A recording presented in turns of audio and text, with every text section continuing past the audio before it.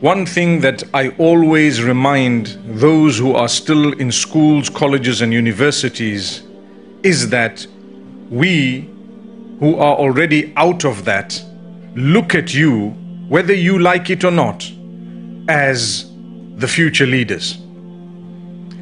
Allah's plan is such that He placed you and I in different times on earth so I would be of a generation slightly earlier than yours.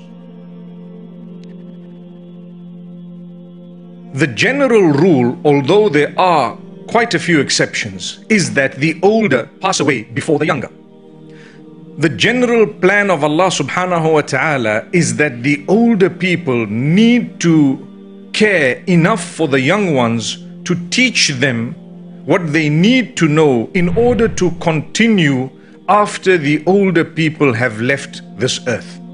Hence, when you come into a school or a college, you will always learn the latest that has been discovered. You will always learn what exactly you need to know from what the world already knows so that you can take it from there further.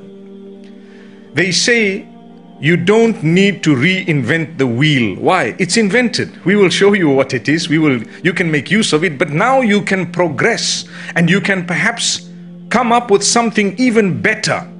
So we expect you to learn from us as much as you can. Even if you watch someone and you look at the way they carry themselves, what they do, you will learn a lot.